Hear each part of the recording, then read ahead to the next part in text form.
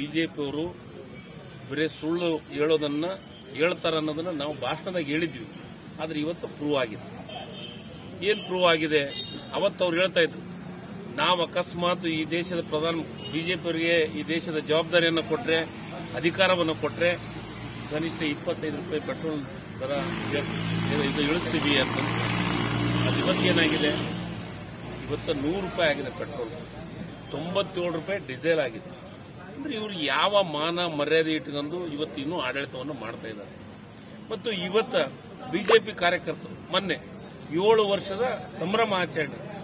ಯಾಕೆ ಸಂಭ್ರಮ ಆಚರಣೆ ಮಾಡ್ಕೊಂಡ್ರು? ಬೆಲೆ ಏರಿಕೆ ಆಗಿದೆ ಅಂತ ಸಂಭ್ರಮ ಆಚರಣೆ ಮಾಡ್ಕೊತಾ ಇದ್ದಾರೆ? ಮೋದಿಯವರು ಮಾಡಿದ್ದಾದ್ರೂ ಏನು? ಈ ದೇಶಕ್ಕೆ ಏನು ಕೊಡುಗೆಯನ್ನು ಕೊಟ್ಟಿದ್ದಾರೆ.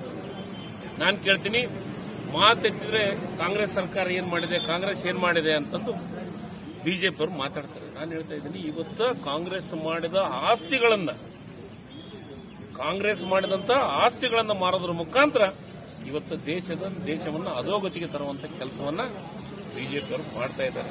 ಉದಾಹರಣೆ, ಇವತ್ತು ಪೆಟ್ರೋಲ್, ಇದು ಏನು ಏರ್ಪೋರ್ಟ್ ಇರ್ಬೋದು, ಎಲ್ ಐ ಸಿ ಅವನ್ನೆಲ್ಲ ಖಾಸಗೀಕರಣ ಮಾಡೋದ್ರ ಮುಖಾಂತರ ಬ್ಯಾಂಕನ್ನ ಒಂದು ಕಾಲದೊಳಗ ಸನ್ಮಾನ್ಯ ಇಂದಿರಾ ಗಾಂಧಿ ಅವರು ಖಾಸಗೀಕರಣ ಇದ್ದಂತ ಬ್ಯಾಂಕ್ ಅನ್ನ ರಾಷ್ಟ್ರೀಕರಣ ಮಾಡಿದ್ರು.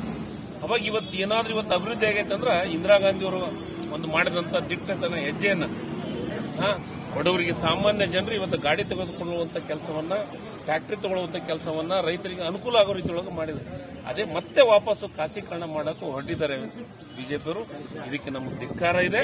ಮತ್ತು ಇವರು ಯಾವ ಮಕವನ್ನು ಇಟ್ಕೊಂಡು ಜನರ ಮಧ್ಯೆ ಹೋಗ್ತಾರೆ ಅನ್ನೋದು ಮತ್ತೆ ಜೊತೆಗೆ ನಿಮ್ಮ ಕಾರ್ಯಕರ್ತರಿಗೆ ಲೈಕ್ ಮಾಡಿ ಶೇರ್ ಮಾಡಿ ತಪ್ಪದೆ ನಮ್ಮ ಚಾನಲ್ನ ಸಬ್ಸ್ಕ್ರೈಬ್ ಮಾಡಿ. ನಿಮ್ಮ ಅನಿಸಿಕೆಗಳನ್ನು ಹಂಚಿಕೊಳ್ಳಿ.